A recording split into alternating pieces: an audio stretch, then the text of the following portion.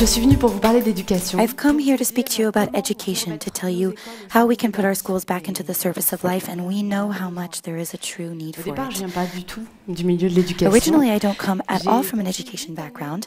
I spent eight years working in the business world, and at that time, in any case, when I started, I looked pretty much like this. C'est vraiment moi. It's really me. I was this young worker, dynamic, wanting to get hers, who has totally launched body and soul in a short term performance, in an exhausting rat race far from meaning, far from values, far from my values. I even worked in businesses where deep, deep down, I did not at all agree with the ethics and the values in place. And I had to journey a long, long path in order to reposition myself. This repositioning came at a moment when, because of the fact that I was losing myself in the rat race, I experienced a small, one could say, burnout, which turned out to be a blessing in disguise. And I feel very grateful for that moment in my life because it allowed me to turn myself towards the very thing that my entire education and life working in the business world had made me flee from myself. It was then that I began to ask myself the right questions, the very questions that I would like every child, every adolescent, every adult on this planet to ask himself. What do I want to do with my life? What is my dream? How can I make it come true? And I hope together tonight we'll be able to dream. It was then that I began, at this moment on my path, uh, I was lucky enough to meet an extraordinary woman named, who I present here, named Edelgut, who created a course that transforms, and it is entitled The Master for the Development of Ethical Leadership. It transforms, it's not always comfortable. You work a lot on yourself, but it creates amazing results. The first thing that I learned during this program is this it is that we have, all of us, and I mean all, potential. And all of us have a potential for creation that is just infinite, except for the fact that our systems of education, our society, are not all based on this. We are based more so on limitations, lackings, things we can do better. I think that some among you may even have had the experience of being told, not good enough. Maybe some have felt that their children have felt this, you're not good enough, which we must admit is terrible. So I became aware that I had potential, and that was new for me. I had always had the impression that I wasn't enough, that I was never good enough, and that contributed to my constant running through life. Then I became aware of a second thing, which truly shook me up, and it's this it's the state of the world. It's the state of the world from an environmental perspective. It's the state of the world from a social perspective, including all the inequalities in our so called developed countries, as well as inequalities between northern and southern countries, as well as an economic model, which I am sure you will agree with me is one that must be remodeled entirely. So I said to myself, I want to do something about this. I want to contribute. I didn't know how quite yet, but one thing was for sure in my life. I was passionate about children. I have always loved being in contact with children. I have a younger brother who is 17 years younger than me and who contributed a lot in inspiring me in this project that I then launched. I always felt so much joy and always wanted to give a lot of joy to children. I always found that the link was magical with children.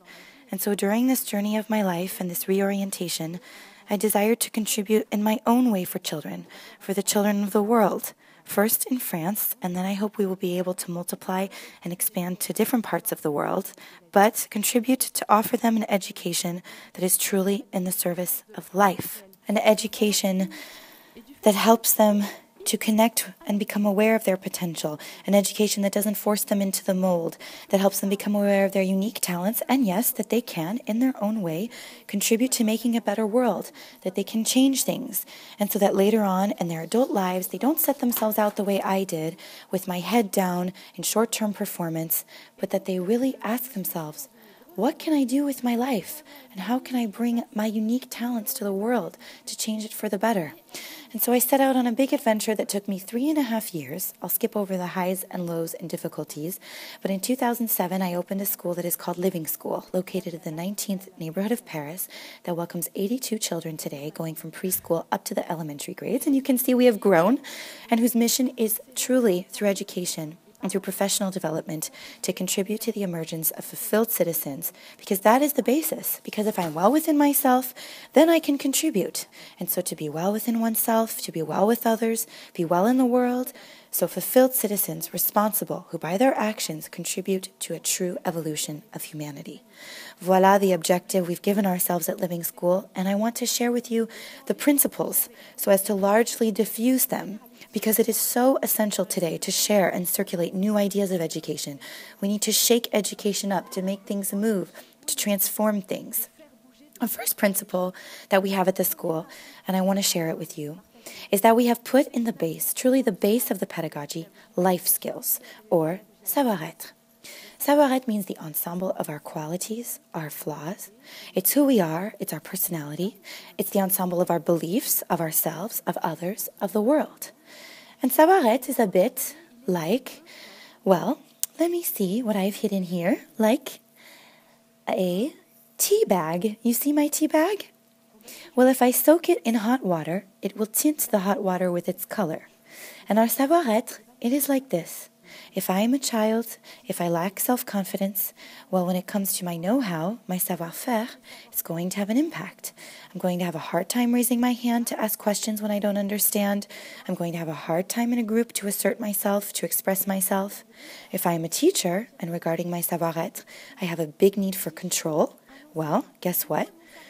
I'm going to put a system of evaluation into place that is based on control. I'm going to have a class climate with the work that is produced with the children that is based on control. And so savoir-être, it is essential. And at Living School, we work on it on all levels. It is the children who work on it. It is the teachers, because adults, we need to be exemplary. I can't claim to teach self confidence to a child if I myself do not have confidence in myself. And then it is also the parents who work on it. There are some parents in the room, and well, it is the parents too who work on their savoir être. Just some images of what we do. We talk about potential. We call this the biggest treasure. And to celebrate this big treasure, these capacities, these skills that all children have, we put into place what we call success notebooks. And so every week, there you have Tiber and Tiffen, who are coming who will show you how happy they are with their success notebooks. And every week, all the children celebrate their successes. You see? Imagine this in every school all over the world.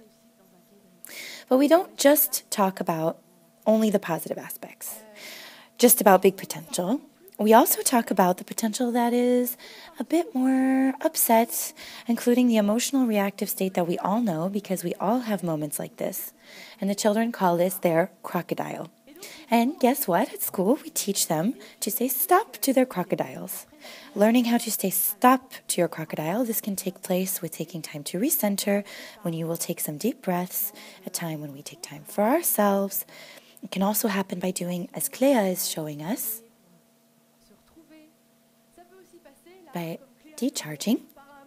Decharging our anger or our frustration in the punching bag or the anger pillow. And an example I wanted to give you of all the beautiful evolution that this creates within the children when we put savoir être truly at the heart of our pedagogy. And I really wish that all schools would because we really need it. Here is Com. Combe arrived at our school not even two years ago. He arrived and he lacked confidence in himself. He lacked a lot of confidence in himself. And his mother tells this story that I am sharing with you. She says that one night she needed to make a very urgent phone call and she needed 10 minutes. So she turns to Combe and his little sister, Albertine, and she tells them, Kids, I won't be available for 10 minutes. I really need you to take care of yourselves. Okay, so then she is on the phone, and the little sister, Albertine, who is two and a half, starts to cry. And she continues her phone call, a bit bothered, and then she hears the crying soften, and when she finishes her phone call, the crying had stopped. She goes toward the children, and there she comes upon Combe in the middle of talking to Albertine, and Combe is saying to Albertine, You know, Albertine, you have a big treasure inside of you, you see? you can find the strength to stop crying. Me, before, I felt like I was nobody, and now I feel better. And you see, I like this example because it shows that a child who is touched, who begins to feel the richness, the potential that he has inside of him, is able to pass it on and to give it to others, to his sister, but even to other children as well. So it's pretty amazing, especially given that the children, they advance much faster than us adults. Another principle that I really wanted to share with you this evening is to allow for children to really change things in the world. I always found it terribly unfair that the children who have this strong feeling and need for what is right, for what is fair, are the farthest away from our world to act. We tell them, no, no, no, you just keep working for another 15 years, and then you will see how you can change things. Except that between us, after 15 years, we don't change much because we have entered a mold, a formatting. And so that is why I wanted to create at Living School the fact that children can access the world, that they can change things. And voila one example of what can take place at Living School.